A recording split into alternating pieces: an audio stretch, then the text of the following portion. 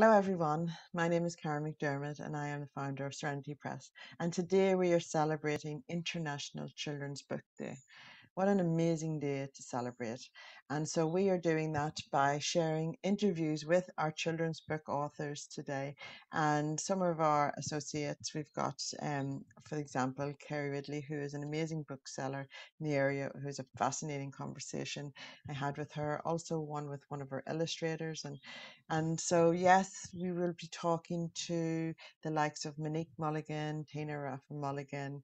Um, who else? There's just so many, so many on our list. We're going to pop up a, a nice graphic. And yes, we have lots of new authors, three of, of which are based in Perth as well, um, who is Marianne Rose.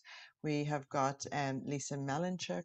We have got Donna Wright, um, all beautiful, amazing authors.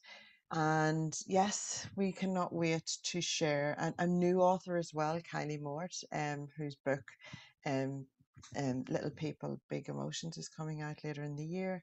And um, yes, and we do have a special video from Sarah, the Duchess of York, that was recorded just for us that we will finale with at the end of the day.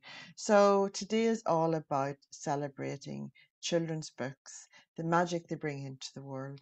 And today is actually the birthday of Hans Christian Andersen. And of course, you know, what a better day to celebrate children's literature than on than on a day like today.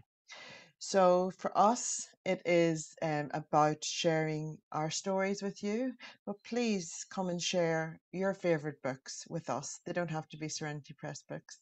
Come and share with us the books that you love, um, because we adore creating books for readers, for children and adults alike. Because children's books are for our kids, but often when we share that moment and read with them or to them, um, it's a very magical memory that we are making.